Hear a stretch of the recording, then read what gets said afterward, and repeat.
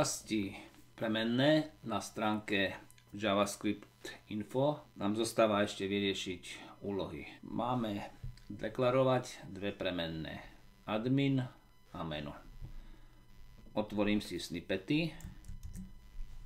Prejdem na založku zdroje.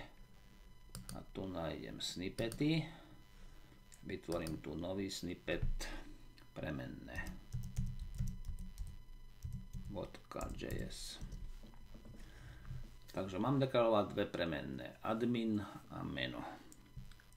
Vložím si to do množinových zatvoriek, takže premenná admin.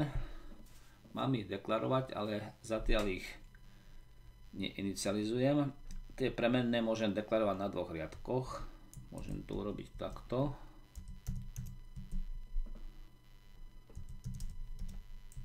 Alebo to môžem dať do jedného riadku a mena tých premenných oddelím čiarkou.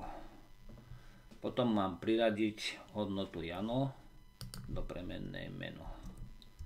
Takže meno rovná sa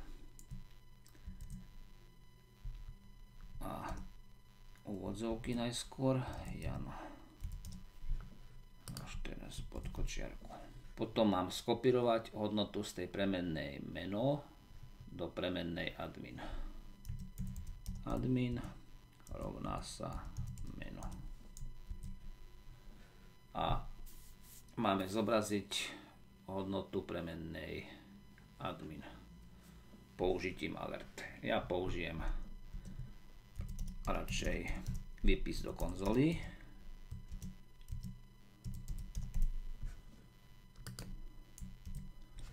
Spustím kód. Toto môžem aj zatvoriť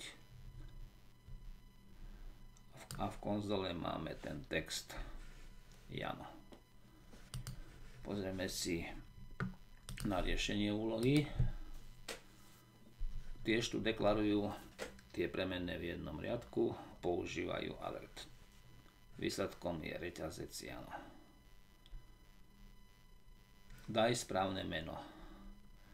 Vytvor premennú, do ktorej si budeme ukladať meno našej planety ako by si túto premennú pomenoval.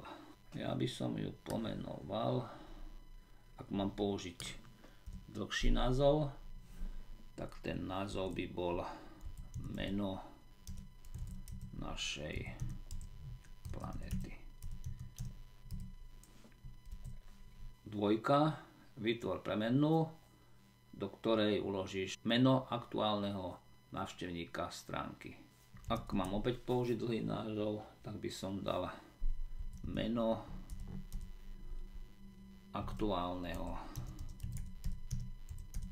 návštevníka. Používam ťavý spôsob zápisu.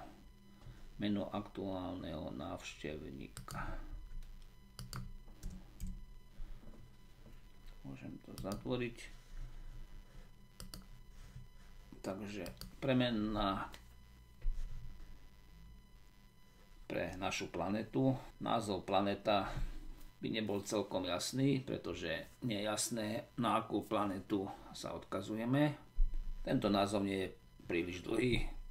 Názov, ktorý obsahuje tri slova, je ešte akceptovateľný. To isté platí aj pre tú druhú premennú kde ukladáme meno aktuálneho návštevníka našej stránky. Opäť by sme mohli použiť aj meno návštevníka, keď je jasné, že je to aktuálne meno. A máme tu ešte poslednú úlohu. Máme tu konštantu s datumom narodenia a potom tu máme nejakú funkciu, ktorá dokáže na základe datumu narodenia určiť aktuálny vek je taký zvyk používať meno konštanty veľkými písmenami, ale predsa len tie konštanty nie sú celkom rovnaké. Datum narodenia sa nemôže nikdy zmeniť. Ale ten vek, aj keď v danom okamihu je konštantný, sa s časom mení. Veľkými písmenami by som nechal ten datum narodenia a tú premennú vek by som dal malým písmenom. No a je tu napísané v podstate to, čo som hovoril ja. Potom som si pozeral diskusiu a tam sa niekto pýtal, ako sa dá na základe datumu narodenia vypočítať vek a tu je odpoveď, ale ten kód nie je správny.